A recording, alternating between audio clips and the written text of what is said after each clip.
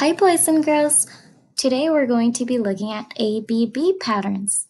Yesterday we were just looking at AAB patterns, but today we're switching it up a bit. So our content objective is I can make an ABB pattern. Our language objective is I can create an ABB pattern by using different movements. So let's look at what an ABB pattern is. So an ABB pattern has two objects, the first object being A and then the second object being B. In this case, we have one A and we have two B's. Our first object can be a circle and our second object can be an oval.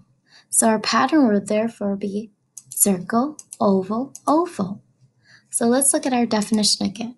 An ABB pattern has two objects with the first object A appearing once or one time and the second object B appearing twice or two times circle, oval, oval, circle, oval, oval, circle, oval, oval.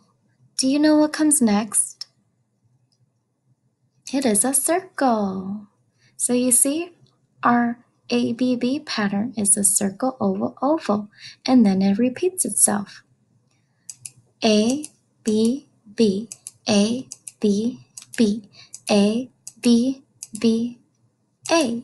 Let's look at another ABB pattern, this time with movement. You can make patterns with your body.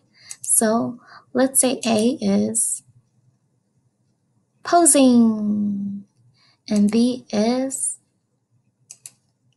jumping jack. So this is Kyle. He's posing with his arms across his waist, and then he's doing a jumping jack.